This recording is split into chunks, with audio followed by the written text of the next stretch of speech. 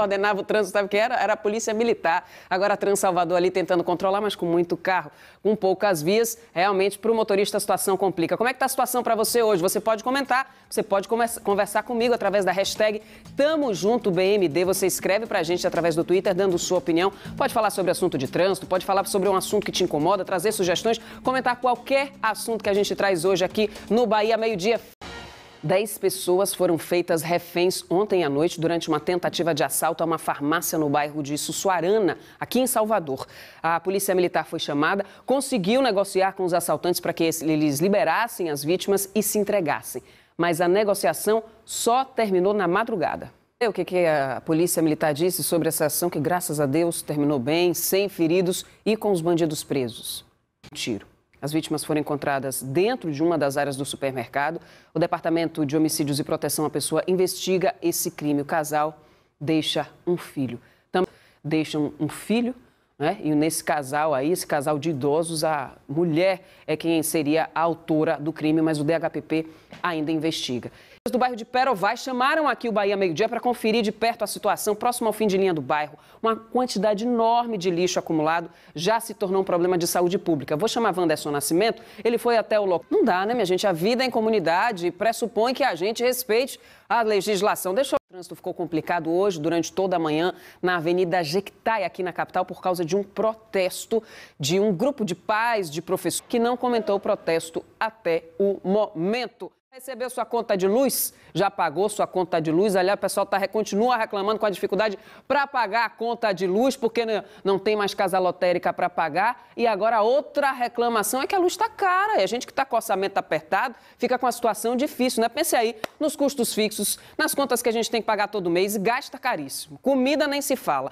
Nesse mês de julho, a gente tem que ter cuidado com o consumo de energia, porque, como eu disse, né, bandeira vermelha foi mantida, patamar 2, minha gente, que é a mais alta alta, o custo é de R$ 5,00 para cada 100 kWh consumidos. E como o nosso salário não sobe, né? Pelo menos não sobe todo dia, quando sobe, sobe uma vez no ano, não sobe muita coisa. A gente tem que buscar alternativas para economizar. Você sabe o que você pode fazer em casa para gastar menos com conta de luz? A gente vai te ajudar. Juliana Cavalcante está com especialista. Programa para a gente dar essa dica, meu filho, mais trabalhando, mas não está precisando economizar, viu? Outra opção para economizar é usar descontos do projeto Vale Luz da Coelba. Você pode acumular descontos ou ganhar lâmpadas de LED que são mais econômicas a partir da troca de latinhas de alumínio. Você também pode conseguir descontos na conta de energia trocando materiais como papel, papelão, plástico, óleo vegetal nos postos credenciados da Coelba. Todos os materiais precisam estar limpos, viu, minha gente? Nada de levar tudo sujo, não. Dá uma limpadinha para levar a lista completa dos postos.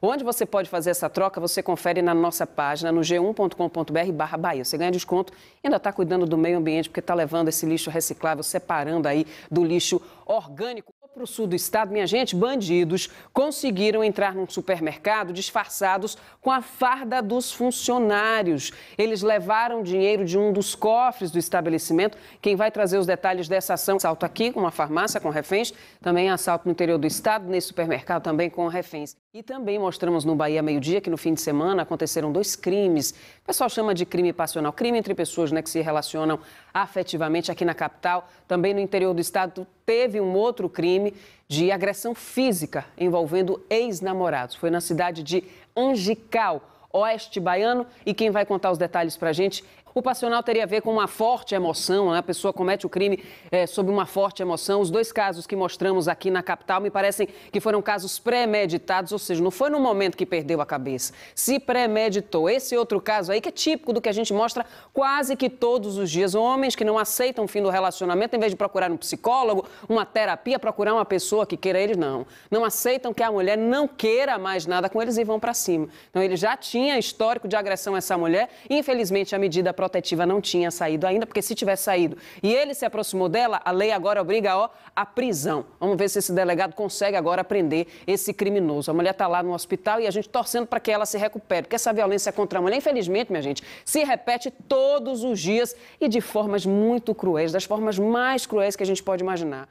Tem casos que a dependência financeira aí é um fator importante para que mulheres suportem em silêncio as agressões, às vezes por anos. Acompanhe os detalhes na reportagem. A contra a mulher vai além da agressão física, aliás, começa muito antes da agressão física. O homem inseguro, ele tem o controle, quer ter o controle dessa mulher. Então ele começa com o abuso psicológico que mina a autoestima dessa mulher, faz com que ela se ache insuficiente para uma outra pessoa, insuficiente para ela mesma. Então não tem força para sair de casa. Se tem força para sair de casa, se consegue ali restaurar autoestima, tem um controle financeiro. Não consegue sair porque muitas vezes esse homem já tinha impedido ela de trabalhar, de estudar, de ser independente financeiramente. Então a gente precisa, minha gente, trabalhar nesse sistema nosso, né, machista, patriarcal, né, enxergar a mulher como muito mais do que um objeto que está ali para servir o homem, o empoderar a mulher, as mulheres perceberem os seus valores. E uma outra coisa que me chama a atenção, a construção de relacionamentos baseados no amor, de fato, que as pessoas estejam juntas porque se amam, não porque uma controla a outra, não porque uma está ali para servir a outra simplesmente.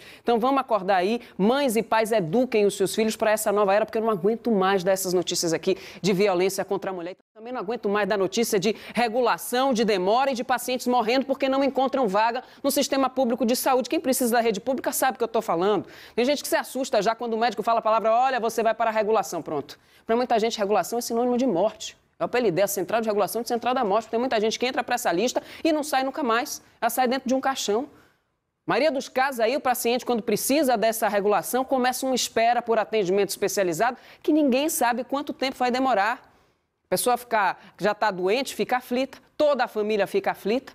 Uma angústia que não passa enquanto a cirurgia não é marcada, quando não tem o exame, o leito de UTI, não se sabe né, a data que se vai conseguir essa vaga. Em alguns casos, como eu disse, essa espera termina da pior maneira. Pacientes que acabam morrendo antes de serem atendidos pela regulação. Veja na reportagem.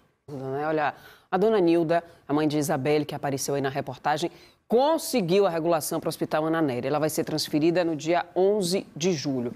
Sobre os outros casos que estão na fila, a Secretaria de Saúde da Bahia diz que vem investindo na ampliação e modernização da rede, que desde 2015 já abriu mais de 1.200 leitos de UTI. Agora, a gente cobrou posição também da Secretaria Municipal de Saúde aqui de Salvador, para saber sobre a regulação de pacientes para o Hospital Municipal.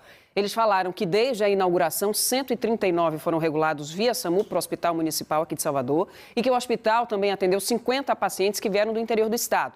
O Hospital Municipal vai estar em pleno funcionamento a partir de outubro, quando vai ter mais 70 leitos para atender adultos e crianças. É o que diz a Secretaria de Saúde daqui de Salvador. Já está fazendo aniversário de sete anos, um buraco e não uma cratera, né, no Alto do Cabrito, aqui em Salvador. Os moradores da Rua Cabritolândia, que convivem com o perigo há todo esse tempo, esperam por uma solução para o problema que coloca em risco a segurança das famílias, dos pedestres, de motoristas e de passageiros né, pessoal aí do Alto Cabri, tamo junto, viu? Você de Salvador, você do interior do estado, você reclama aqui, a gente mostra e a gente cobra até que o problema seja solucionado. E esse será com certeza, viu? Vamos ter fé meio de 41 trazendo a opinião que mais importa. A sua opinião você fala com a gente através do Twitter, hashtag Tamo Junto BMD, aqui Alain Marcelo Santos. A bandeira é nacional, viu? Depende da, do custo para geração de energia. Se forem usadas as hidrelétricas, a gente fica com bandeira amarela, bandeira verde, mas se tiver que ligar as termoelétricas, a bandeira vermelha é acionada. E aí, meu amigo, nesse mês de julho, a conta tá mais cara. Moisés de lixo com carrinho de manda dizendo que faz isso porque os outros fazem também. É terrível, né? Aqui o Weider do ar, felizmente, o interior já foi tranquilo, não é mais não, né? Urânia Santos também participa através do Twitter. Toda a violência, né, Urânia? Tá muito difícil às vezes para nós, mas eu tenho fé que a gente vai melhorar, viu? A gente muda aí a nossa, o nosso comportamento aqui. Gilberto, demais, concordo, viu, Gilberto?